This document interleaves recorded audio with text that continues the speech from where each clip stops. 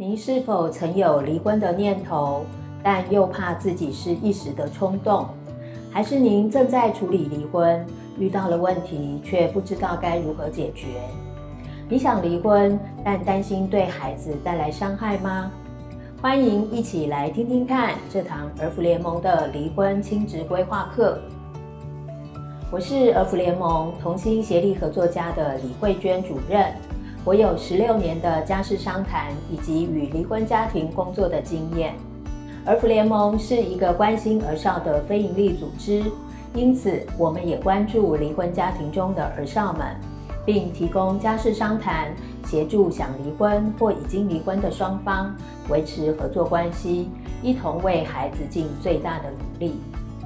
在服务过程中，我们看见许多正准备离婚或已经离婚的家庭遇到了困境，甚至感到压力。夹在中间的孩子也陷入了纠结与痛苦，甚至造成一辈子的伤害阴影。在这堂课里头，我们会透过专业社工团队的实务经验，带您分析问题、梳理情绪，并说明离婚所需的资源以及法律的资讯，还有告诉你如何和对方一起规划孩子后续的照顾。这堂课会依据离婚的历程。分成四个主题。首先，我们会带你做离婚前的评估，还有离婚后怎么调试自己，怎么跟对方一起合作照顾孩子。这堂课没有任何的门槛跟限制，只要您遇到婚姻的瓶颈或已经决定离婚，想知道怎么处理，都可以来听这门课。相信你会有意想不到的收获。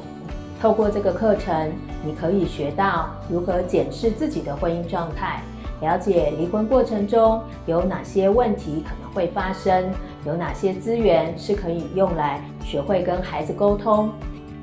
而在课程的最后，我们也会陪你产出子女照顾计划书，让你跟对方能够更顺利的一起合作照顾孩子。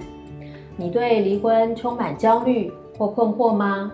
请来听听看儿福联盟的离婚规划课，我们一起学习如何好好离婚，一起当孩子的父母。